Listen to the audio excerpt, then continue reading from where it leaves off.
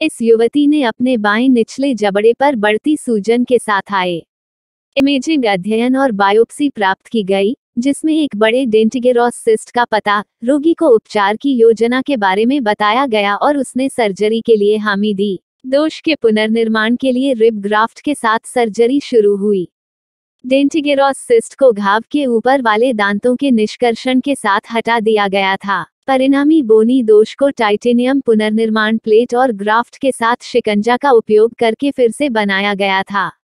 आसपास के वायुकोशीय हड्डी के लिए हड्डी के ग्राफ्ट के समेकन की अनुमति देने के लिए सर्जरी के बाद छह महीने की अनुमति दी जाएगी। उस समय डेंटल इम्प्लांट्स लगाए जाएँगे और उसके बाद आसपास की हड्डी के साथ इम्प्लांट्स के ऑसियो इंटीग्रेशन की अनुमति देने के लिए छह महीने और लगाए जाएँगे।